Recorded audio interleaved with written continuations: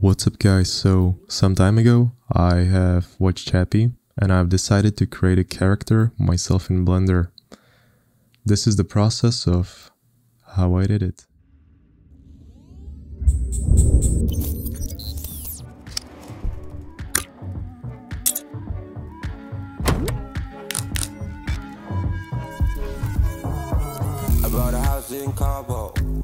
Shake off my cargo.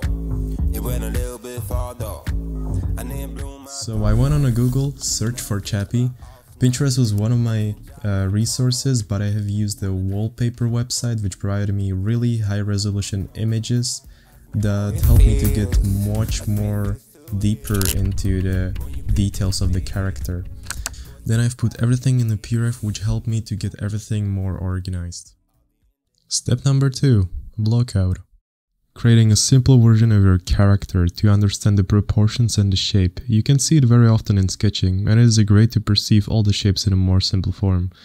Here I'm drawing in cubes with yellow and a cylinders with red to basically make my life easier. Then we can jump into Blender and do our solid blockout.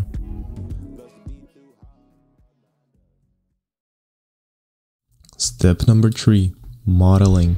Because Chappie is an already existing character, I didn't want to reinvent the wheel completely. So I went on some websites to look for free Chappie models that can have similar looking parts. Some of them were pretty good and some of them were like from a different movie.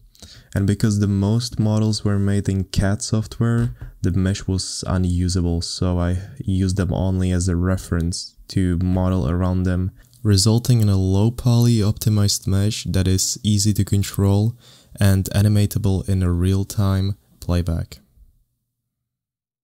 But in most shapes I had to get a vision of them myself because some of the shapes were not looking similar like an actual Chappie. model with a brand new model. Yeah, I called up Carlos. Said I won't be calling. Now we can bring our model to life with texturing. I have used technique of projecting and mixing images. This basically allows you to go out and take a photo of anything and use it as a texture and be creative as you want. You can basically relight your images or create an actual 3D model using this technique. Here you can see that I have used only black and white images to use as a mask to blend among all the different colors. I have done this process for all the materials because I wanted to make it flexible so I can change them to white, pink or dirty anytime in seconds and those material values can be even animatable. Detailing. For a better indicator, I was using an image I found and then manually creating all the different variations and changing them through mapping node. Changeable emotions, graffiti, Easter eggs, stickers, and I've also made working fans, screws, and cables. Rigging. The first thing that is very important is that you put your origin to the place where you want it to rotate. Select faces, 3D cursor to your selection, and origin to your cursor. And repeat this process for all the parts. You also need to correct your origin rotation, otherwise you're not going to be able to rotate them correctly when it's going to be rigged. So control, period, and rotate it however you need. Okay, for the rig, I've used the Mixamo rig, which I will link in the description to download. Okay, now search for Mixamo add-on and download the Blender add-on, which allows you to generate an IK rig with just one click.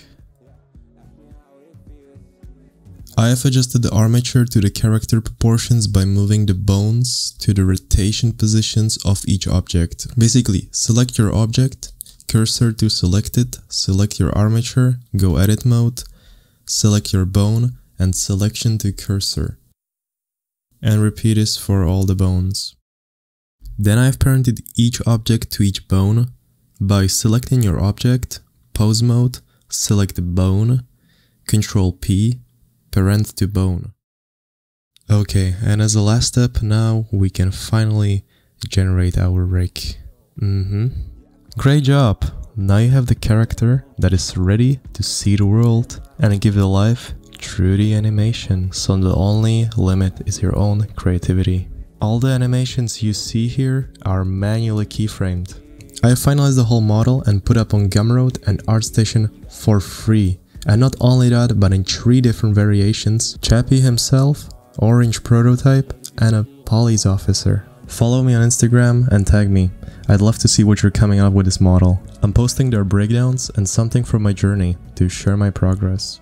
I've also decided to create Patreon where I'll be putting up more frequent content like tutorials, assets, breakdowns, project files, and even more. But yeah, I hope you learned something from this video.